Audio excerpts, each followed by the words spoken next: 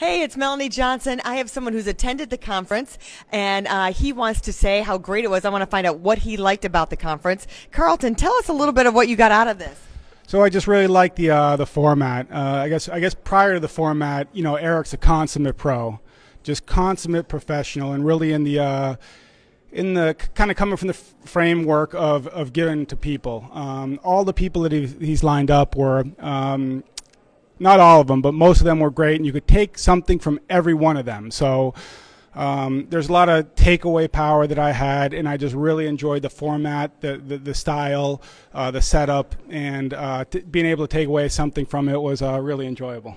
That's great. Thank you, Carlton. Appreciate it. Thanks. Habitude Warrior Conference.